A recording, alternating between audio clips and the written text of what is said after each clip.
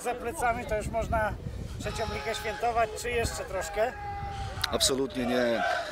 Sami zawodnicy powiedzieli, że prowadzimy 2-0, ale do przerwy. Jeszcze w środę trzeba potwierdzić to, że, że mamy dobrą pasę i, i, i wtedy będziemy śpiewać wspólnie z kibicami. Natomiast no, musimy się wstrzymać jeszcze, bo to jest piłka. Trenerze, jak pan oceni ten pierwszy mecz, bo dzisiaj gospodarz żadnej sytuacji, to z czego to wynika? My byliśmy po prostu do tego meczu dobrze przygotowani taktycznie.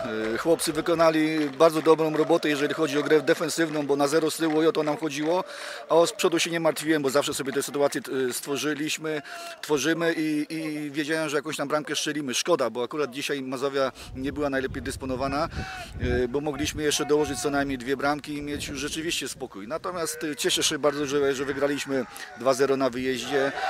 I mówię, no jesteśmy na półmetku, czekamy już z niecierpliwością na środę. Poprosimy o ocenę tego pierwszego barażowego spotkania. No co powiedzieć, pierwsze 90, pierwsze 90 minut mamy za sobą. Pierwsze dwie połowy z tych czterech są już rozegrane. Mecz u nas nie potoczył się po naszej myśli. Troszkę nas rozstroiła niefortunna interwencja bramkarza i strata bramki na 1-0. Ciężko było się pozbierać po tym, bo wiadomo było, że dzisiaj grają dwie równe drużyny, e, które wygrały swoje ligi i o zwycięstwie decydują detale, tak.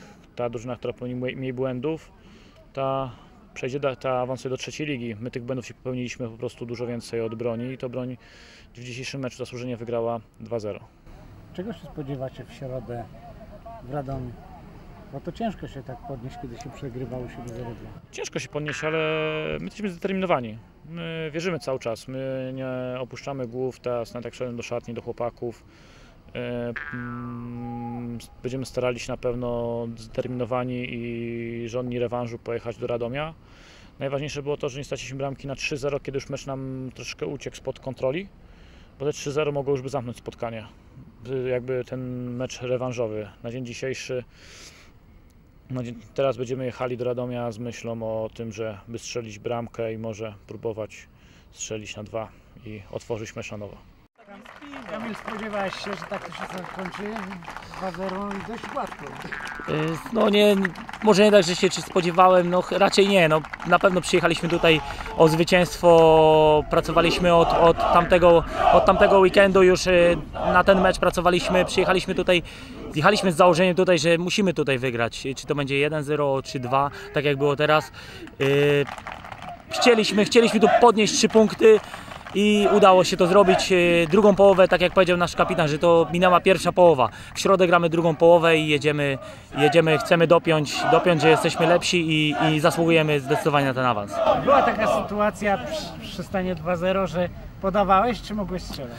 No teraz, teraz, już, teraz już wiem, że niepotrzebnie. Chciałem do Wiktora do pustej bramki podać, piła skoczyła i, i, i, no i wyszło źle. Niepotrzebnie, po- powinienem zastrzelać.